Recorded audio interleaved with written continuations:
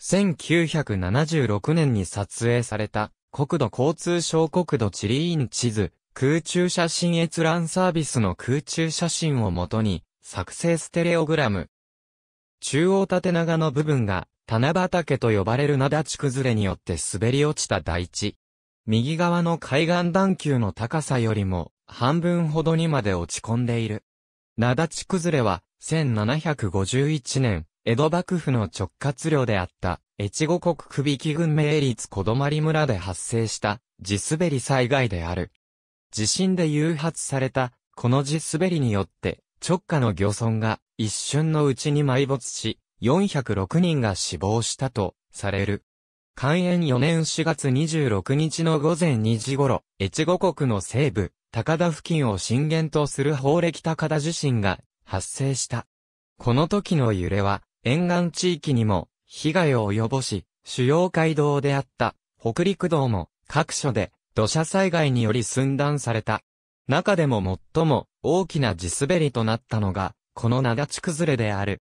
海岸に沿って細く広がる灘地小泊村の集落の背面にある海岸段丘から幅約 1km にわたり、一部の大地が塊ごと滑り落ちた。落ちた大地は棚畑あるいは棚と呼ばれ、元よりも半分ほどの高さまで落ちて階段状になっているのが確認できる。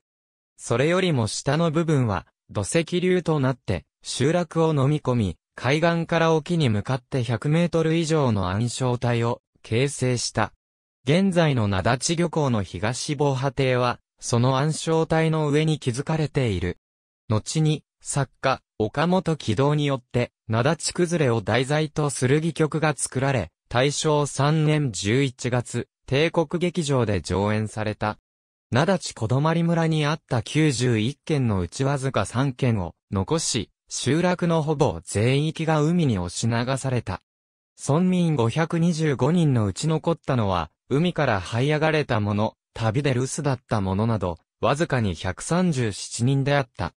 村の営みは立ち行かなくなり、参勤交代の宿役などの村の務めを辞退し、幕府に復興のための資金援助の嘆願を行った。また、出稼ぎや奉公などで村を離れた者を呼び戻すため、諸国の領主に既存させるよう高田の領主を通じて依頼した。集落が元の規模に戻ったのは100年以上が経過してからのことである。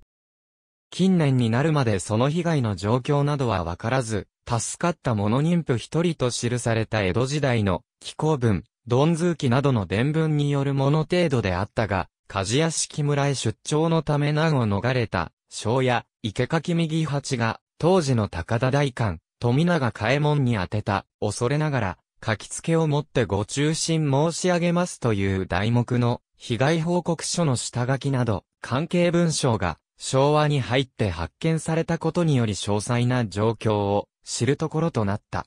鳥毛首岬灯台下より、灘地崩れ断面と灘地小泊集落を望む。ありがとうございます。